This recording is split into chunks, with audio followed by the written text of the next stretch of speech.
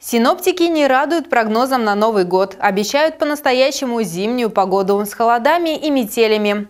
А какой будет погода в последнюю неделю декабря, узнаете прямо сейчас. На предстоящей неделе погода в Кузбассе будет морозной. Свое влияние будет оказывать сибирский антициклон, объединившись с арктическим.